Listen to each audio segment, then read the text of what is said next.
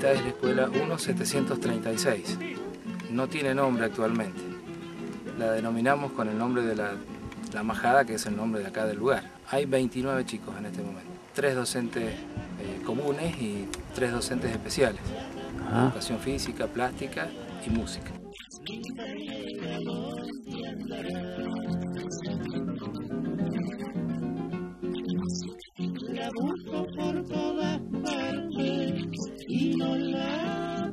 Encontrar.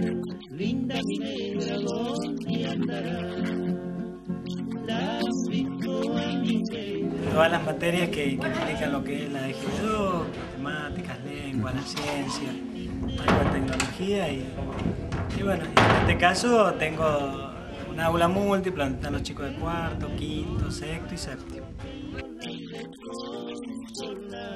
Cada vez que venimos acá venimos motivados justamente por ello, por lo que nos aportan a nosotros cada día. Sí, seguro. Por ahí hacemos un viaje que, que se nos hace difícil, pero bueno, no- no, el mérito en realidad no lo hacemos nosotros, sino que lo hacen ellos.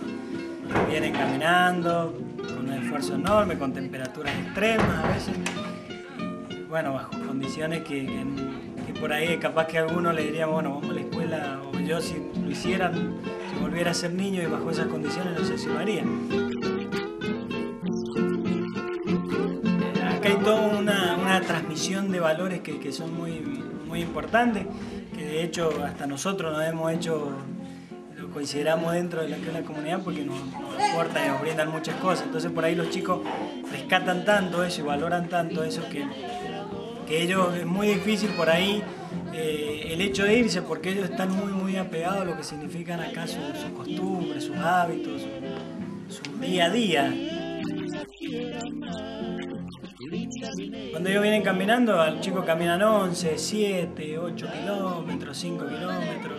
Bueno, eso implica levantarse, si fuera algo habitual, un par de horas antes de- del horario escolar. Entramos en este momento 9.30, ellos a las 7 de la mañana tienen que estar arriba, caminando, algunos que vienen en burrito.